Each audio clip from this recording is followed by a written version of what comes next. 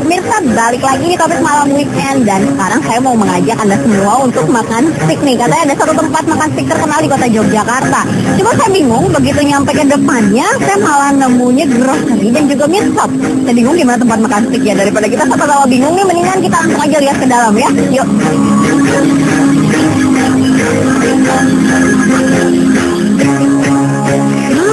Apabila Anda datang ke tempat ini untuk pertama kali, mungkin akan bingung. Karena begitu masuk, kita akan langsung melihat grocery yang menjual barang-barang impor yang jarang ada di pasaran.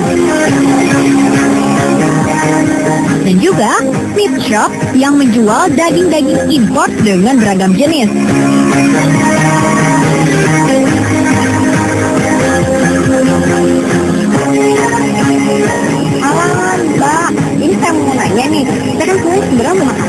Cuman pas masuk ini malah toko sama meat shop gini makannya di mana dong?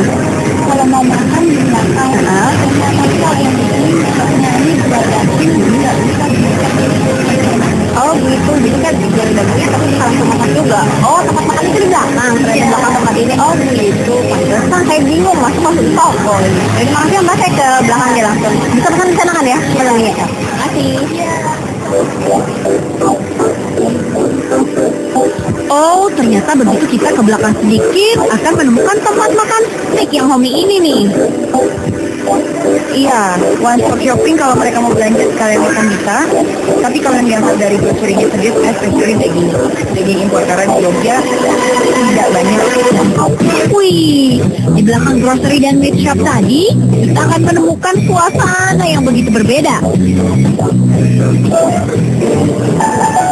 Deretan kursi menghadap taman dan dekorasi serta lantunan musik jazz yang soulful membuat tempat ini begitu nyaman. Terasa berada di rumah sendiri deh.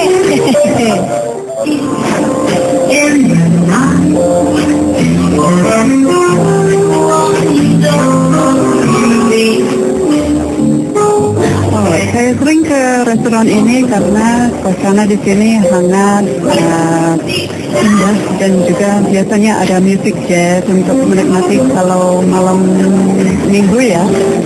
Ah, juga ada toko di depan yang menjual produk makanan dari Australia yang yang sulit untuk mencari di Jogja. Jadi selalu saya selalu tahu kalau saya merindukan sesuatu dari Australia pasti bisa beli yang ditawarkan oleh R&B Grill ini berkisar antara 100 hingga 200 ribuan saja. Tapi daging yang disuguhkan betul-betul dengan kualitas terbaik loh.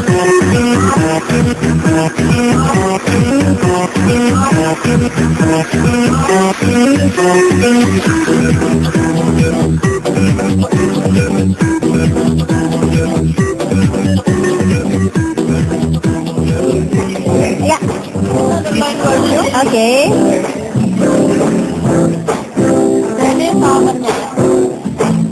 Ini politisnya Nah, oke. Ah ya Pak, ya.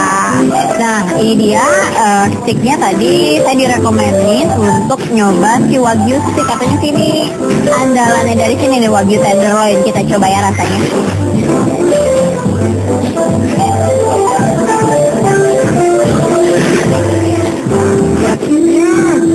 begitu dipotong dagingnya empuk banget.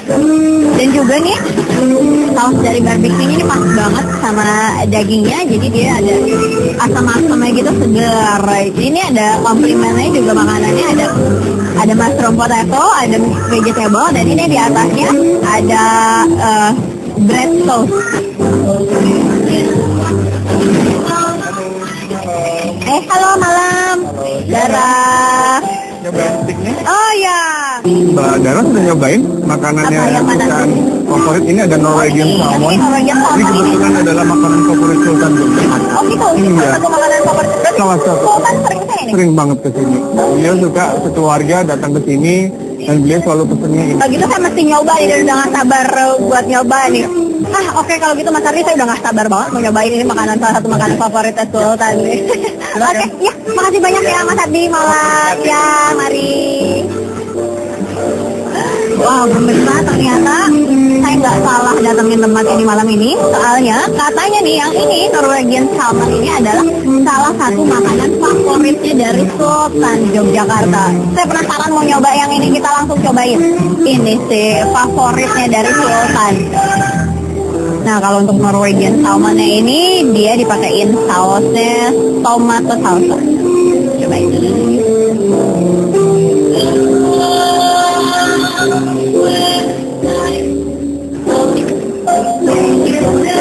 Salah, ini jadi salah satu makanan yang favorit dari Sultan karena emang kalau bahasa Jawanya itu endos gandos deh ya. Jadi dia salmonnya eh, di luarnya ini crispy, tapi di dalamnya itu lembut banget. Hmm, ternyata banget.